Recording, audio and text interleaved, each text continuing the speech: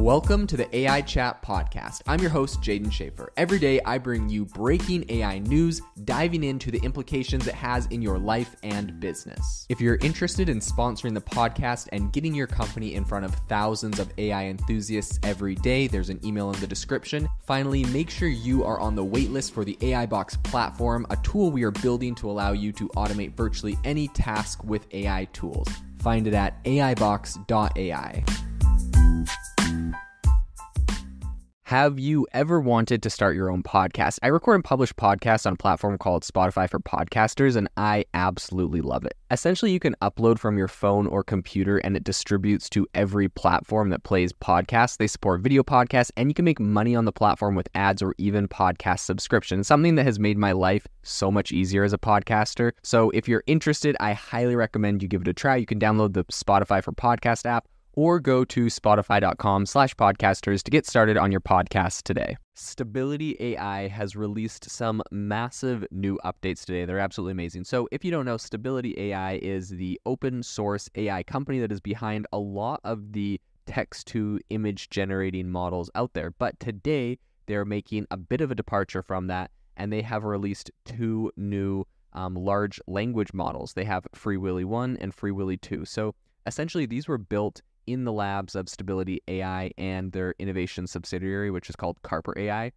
And these models take a massive leap in the open source LLM arena. So, although they are an experiment in research, I think that their implications could have some really big impacts on the AI community. So, in I think, you know, perhaps this is a bit of a nod to Meta's Llama and Llama 2 open source models, but Free Willy and Free Willy 2 essentially take their foundations um, from those same heavyweights, but they move in a kind of a bit of a new pool of data. So think of Free Willy 1 as a carefully honed um, evolution of the original Llama, which is about 65 billion foundation um, model, and fine tuned using a freshly minted synthetically generated data set under the stewardship of supervised fine tune um, in the classic alpaca format. So, in the same vein, Free Willy 2 kind of takes uh, is is pretty much building off of Llama 2, which is the 70 billion um, foundational model, which is powering up to a level of performance that essentially I think can give you around ChatGPT 3.5.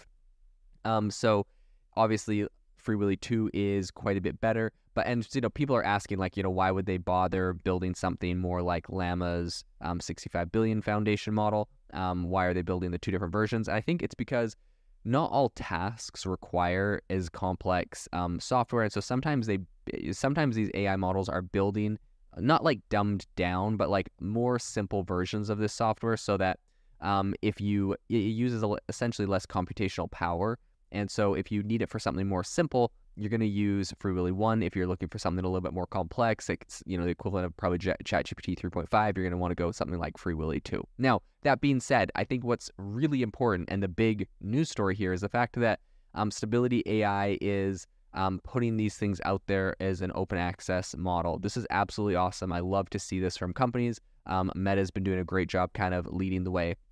I think on the topic of the data that really went into these um, models, the Free Willy 1 and 2 were both inspired by a methodology introduced by Microsoft in their influential paper, which was Orca's, or it was Orca Progressive Learning from Complex Explanation Traces of GPT-4. So much like their other counterparts, the Free Willy models adopted a really similar data generation process, but they chose to essentially go in a different um, direction as far as where they were getting their data sourced from. So they were trained on a data set containing around 600,000 data points. These were handpicked from high quality instructions um, originating from four rich data sets, which were curated by Enrico Shippole. So, despite the data sets being a tenth of what was actually used in the original Orca paper, the Free Willy models actually showcased really impressive performance across a bunch of different benchmarks. And they, I think they do something really important for AI, which is essentially they're proving that um, less data can be just as powerful when it comes to synthetically generated data sets. And so I think this is really big because up until now, things like ChatGPT are they almost like brag or they almost are like showing off by like, oh, we have X amount of trillion parameters or 100 billion parameters in our data set. And it's like, it's they're like saying that as if it's like you know how many gigs are on a hard drive like it's a it's like a number that really matters when at the end of the day it's not how big the data set is it's how well they were able to actually use that how efficient it was how they did their fine tuning there's so many other components that can make it so much better and so i think it's really impressive when we're seeing um, these ai models that have much smaller data sets able to come up with some really impressive results. I think that's really what we're seeing here from stability. I think when it came to testing Eleuther's ai's um, in eval harness was used as the diving board with essentially um, AGI eval added to the mix. So what was discovered that was that Free Mil- uh, Free Willy's models really um, do great when it comes to uh, reasoning, linguistic nuances, and also solving some really complex queries. So particularly in specialized fields like law and math, this AI model actually excelled and did really really well. They they actually did um, they did pretty great, and they were, you know, not only evaluated by the keen uh, researchers over at Stability AI, but they were also independently um, reproduced and published. These same, uh, I guess, like evaluations were done by Hugging Faces on July 21st. So I think it's cool that they obviously did this internal, in house, but then they also had an external um, firm do the same, uh, put it to, through to the test for the same benchmarks, and they saw that it was replicable, right? This thing actually is as good as they said. So I think with their non commercial license, the Free Willy models can't be used for business purposes. Instead, essentially, they're kind of um, trying to push forward advanced uh, research and also kind of promote openness in the AI space. The model's weights are also shared openly. So Free Willy's 2 as is um, and also Free Willy 1s are both released as deltas over the original model.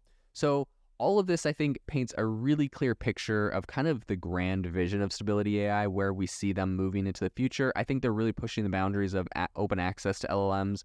Um, they're really enhancing natural language understanding and empowering complex tasks. The team behind these models really are kind of thriving in this uncharted territory of um, essentially like trying to help the AI community explore and innovate and um, you know, essentially push the whole community forward. So as I think they put it, um, the endless possibilities these models bring are only really breaking the surface. Um, and I'm really excited to see where this continues to go. I think that the the moves and the and the trailblazing essentially that Stability AI is doing is really awesome. They have a solid team of researchers, engineers, collaborators. I'm really excited to see where they take this in the future. And I'm really excited to kind of follow this trend that they seem to be spearheading of this open AI that is essentially made by the people for the people and shared with everyone. So it's going to be a very interesting company to continue following into the future. Great job over at Stability AI. This episode is brought to you by Shopify.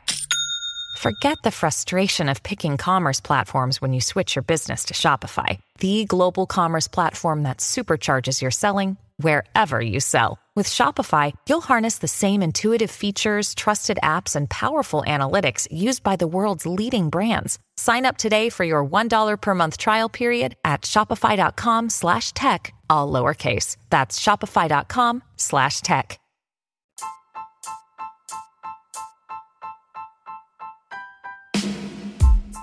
Thank you for listening to the AI Chat podcast. If you enjoyed this podcast, I'd appreciate it if you rate us wherever you listen to your podcast. And if you're looking for a innovative group of AI enthusiasts, make sure to check out our Discord channel and Facebook community. It's obviously a lot more interactive than a podcast where we can share software, tools, and prompts we're using in AI every day. I'll leave a link for those in the description below.